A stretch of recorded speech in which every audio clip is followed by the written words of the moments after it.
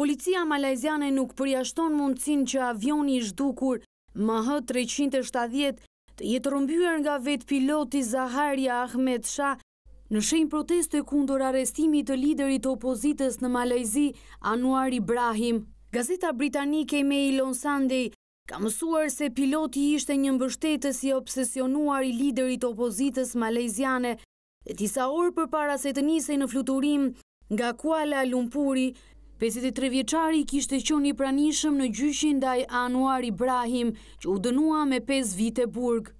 Një ditë më parë, policia malajziane kontrolloi shtëpinë e tij, ndërsa kryeministri i këtij vendi deklaroi se sistemi i komunikimit të avionit MH treqind e shtatëdhjetë ishte fikur qëllimisht ndërsa avioni kishte ndryshuar rrugë. Hetuesit e FBI-së thonë se zhdukja e avionit mund të ketë qenë një veprim piratësh, ndërsa nuk përjashtojnë mundësinë që qindra pasagjerët e avionit mund të jenë në një zonë të panjohur.